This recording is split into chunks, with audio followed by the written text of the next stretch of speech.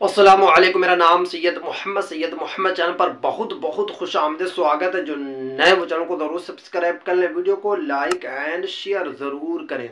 आज मैं आपको बताऊँगा जामिया मिलिया इस्लामिया से आप किस तरीके से बीएड कर सकते हैं, उर्दू, अरबी या फिर फ़ारसी में। पूरी की पूरी जानकारी मैं आपको इस वीडियो में दूँगा। तो वीडियो को आपको लास्ट तक देखना है। अगर अभी तक आपने इस चैनल को सब्सक्राइब नहीं किया है तो चैनल को ज़रूर सब्सक्राइब करके बेल आइकन को ज़रूर प्रेस करें। क्योंकि मुझे काफ़ी मैसेज आ रहा था कि, मोहम्मद भाई, बताइए, मुझे अरबी में बी करना है जामिया से, या फिर मुझे उर्दू में बी करना है, या फिर मुझे फ़ारसी में करना है? तो किस तरीके से मुझे फॉर्म भरना फॉर्म का लास्ट डेट क्या है इंट्रेंस कब होगा, पूरी की पूरी जानकारी मैं आपको इस वीडियो में दूँगा।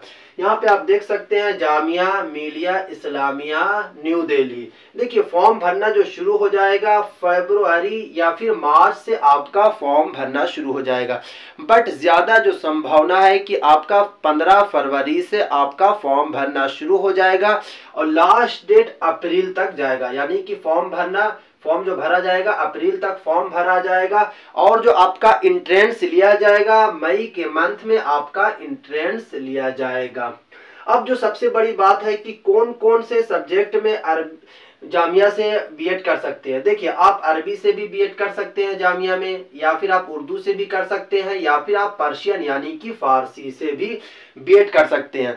अब मैं आपको बता देता हूँ क्वालिफिकेशन आपकी क्या होनी चाहिए। देखिए क्वालिफिकेशन की अगर मैं बात करूँ तो ग्रेजुएशन पास आउट होना चाहिए। अगर आप मदरसा के स्टूडेंट हैं, बिहार मदरसा के स्टूडेंट हैं तो आपके पास आलिम की डिग्री होनी चाहिए थर्ड ईयर यानी कि अगर आपने थर्ड ईयर कर लिया, आलिम थर्ड ईयर आप पास आउट है तो आप फॉर्म को भर सकते हैं।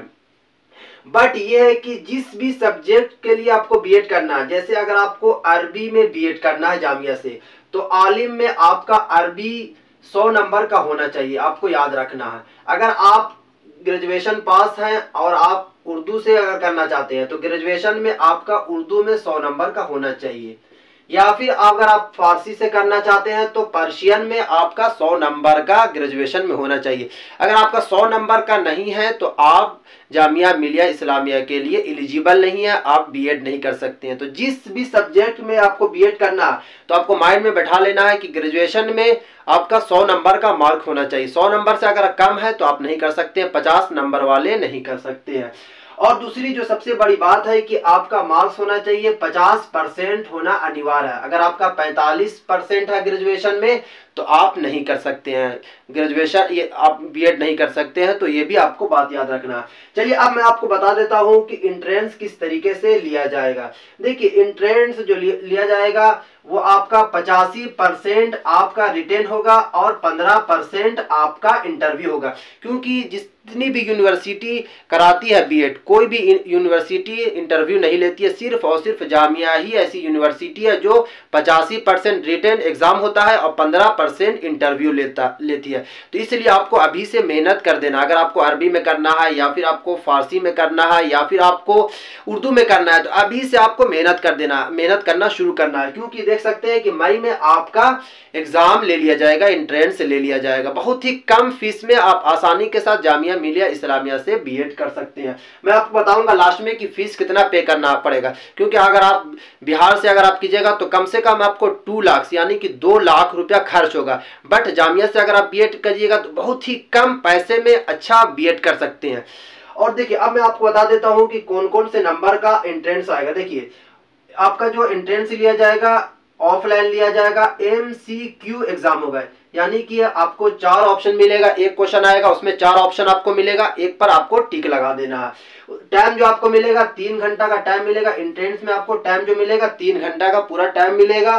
क्वेश्चन 170 नंबर का क्वेश्चन होगा। नेगेटिव मार्किंग भी है 0.25 यानी कि अगर आपने कोई क्वेश्चन को अटेम्प्ट किया, उसमें अगर आपने गलती कर दिया तो इतना नंबर कट जाएगा। 0.25 कर दिया। अगर आपने कोई क्वेश्चन में अटेम्प्ट नहीं किया तो कोई भी नंबर नहीं कटेगा। सही अगर आप कीजिएगा तो आपको पूरा एक मार्क मिलेगा।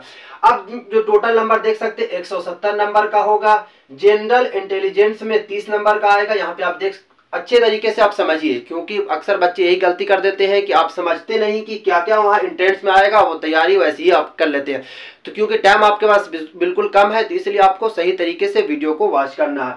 उसके बाद टीचिंग एप्टीट्यूड का तीस नंबर से आएगा, यहाँ पे आप देख सकते हैं करंट अफेयर तीस नंबर का आएगा। यानी कि तीस तीस तीस नंबर। यानी कि ये तीन लगा के आपका तीस नब्बे नंबर का हो जाएगा। उसके बाद नेचुरल देख सकते हैं साइंस का आएगा, बीस नंबर का सोशल साइंस का बीस नंबर का आएगा मैथ का बीस नंबर का आएगा लैंग्वेज में बीस नंबर का आएगा। तो जैसे अगर आपको अरबी से करना है तो अरबी का आपको बीस नंबर का क्वेश्चन आएगा। अगर आप उर्दू से करते हैं तो आपको उर्दू का बीस नंबर का क्वेश्चन आएगा। अगर आप पर्सियन से करना चाहते हैं तो आपको पर्सियन का बीस नंबर का क्वेश्चन आएगा। तो इस तरीके से आपको काफ़ी मेहनत करना पड़ेगा इंट्रेंस निकालने के लिए, क्योंकि जामिया में काफ़ी बच्चे इंट्रेंस भरते हैं और कम ही बच्चों का सिलेक्शन होता है। तो इसलिए आपको अभी से काफ़ी मेहनत करना, जैसे करंट अफेयर आपको रोज़ाना पेपर अभी से पढ़ना शुरू कर देना है, क्योंकि करंट अफेयर में देख सकते तीस नंबर का आएगा।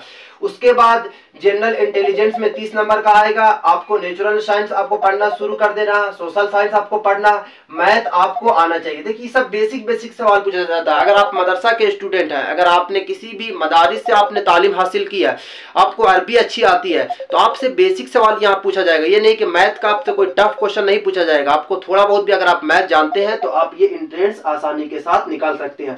देखिए, अगर मैं आप फ़ीस की मैं बात करूँ तो फ़ीस जो है, बाईस हज़ार रुपया यहाँ पर आप देख सकते हैं। बाईस हज़ार रुपया सिर्फ़ और सिर्फ़ आपको पे करना एक साल के लिए। बाईस हज़ार रुपया पे करना पर ईयर यानी कि चौवालीस हज़ार में आप पूरा बीएड कर सकते हैं। तो देख सकते हैं कितने कम पैसे में अच्छा बीएड कर सकते हैं। अगर आपको फ्यूचर में इन फ्यूचर आपको उर्दू टीचर बनना है या फिर आपको अरबी टीचर बनना है, या फिर आपको फारसी टीचर बनना है तो जामिया मिलिया इस्लामिया से आप बीएड ज़रूर करें। क्योंकि अगर आपने यहाँ से बीएड कर लिया तो आपको किसी तरह का कोई नहीं रोक सकता है बीपीएससी करेक्ट करने के लिए। आप आसानी के साथ आप टीचर्स बन सकते हैं।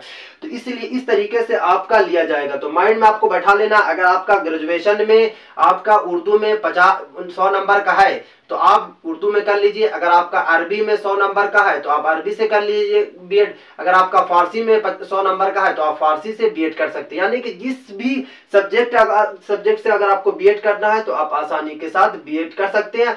बशर्ते कि एक शर्त है कि पचास परसेंट होना अनिवार्य है। हाँ अगर आपका ग्रेजुएशन में 50 परसेंट नहीं है, यानी कि अगर आपका 40 परसेंट, आपको याद रखना है 40 परसेंट है, बट आपने पोस्ट ग्रेजुएशन किया है तो अगर आप में जैसे फाजिल आपने कर लिया, फाजिल में आपका 45 परसेंट है तो आप एलिजिबल हैं, आप बीएड कर सकते हैं। यानी कि अगर आपका ग्रेजुएशन में 50 परसेंट नहीं है बट आप, क्योंकि बहुत सारे बच्चे ऐसे भी रहते हैं जो फाजिल भी किए रहते हैं, यानी कि पोस्ट ग्रेजुएशन भी कर रहते हैं, उनका, उनके पास अगर 45 परसेंट है तो वो एलिजिबल है, वो फॉर्म को भर सकते हैं। तो ये थी आज की काफ़ी इंपॉर्टेंट वीडियो अगर आपको किसी तरीके का और भी क्वेश्चन पूछना है, जामिया मिलिया इस्लामिया से रिलेटेड बीएड से रिलेटेड तो कमेंट्स कीजिए। कमेंट्स में मैं आपको पूरी की पूरी जानकारी दूँगा। फॉर्म भरना नेक्स्ट मंथ यानी कि फेब्रुआरी से आप फॉर्म भरना शुरू हो जाएगा और लास्ट डेट मार्च या फिर अप्रैल तक जाएगा और आपका मई में हर हाल में आपका एंट्रेंस ले लिया जाएगा। तो आपके पास दो से तीन महीने का टाइम है, इसलिए आप ज़्यादा से ज़्यादा मेहनत कीजिए।